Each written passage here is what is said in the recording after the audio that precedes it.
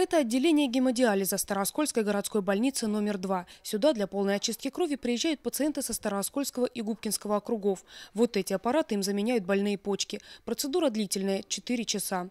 Фонд поколения Андрея Скотча здесь считают добрым покровителем. Более двух десятков лет он помогает гемодиализным больным со всего региона. На протяжении всего этого времени фонд поколения приобретал и аппараты искусственной почки, которые сегодня работают в гемодиализном центре в Старом Осколе. Приобретали специализированные кровати для того, чтобы они шли э, и были комфортны для получателей этой помощи. Ну, а также э, был приобретен автотранспорт фактически для всех э, территорий Белгородской области для перевозки вот, в гемодиализные центры.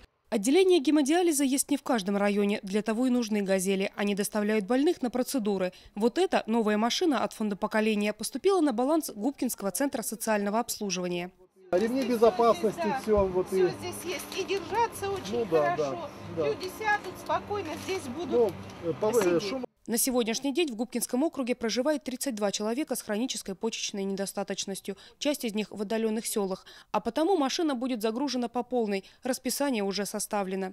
Мы вывозим людей э, к 6 утра во вторник, в четверг и в субботу. В 6 утра практически не ходит никакой пассажирский транспорт. А в 6 утра нам уже нужно человек, чтобы был подключен к искусственной почке. Вторая смена у нас начинается в 11 часов.